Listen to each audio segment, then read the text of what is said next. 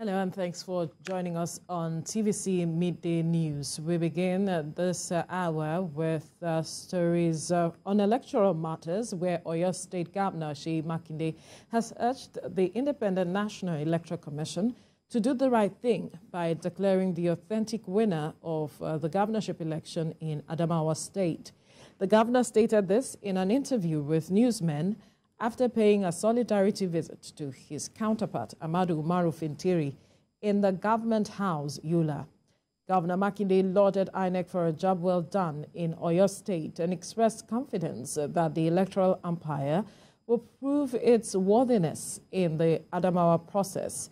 Governor Makinde also urged the people of the state to remain calm while assuring them that the current situation will be resolved and their decision will be respected by the concerned authorities.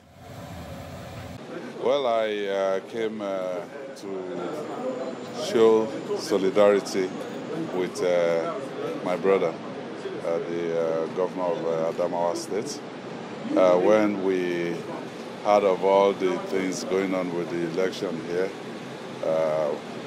we thought, well, it's best, you know, for me to come here personally, deliver a message of hope to him that he shouldn't uh, worry at all. We know uh, that uh, INEC has uh, enough people of conscience to do what is right uh, for uh, Adamawa State and by extension for our democracy in Nigeria.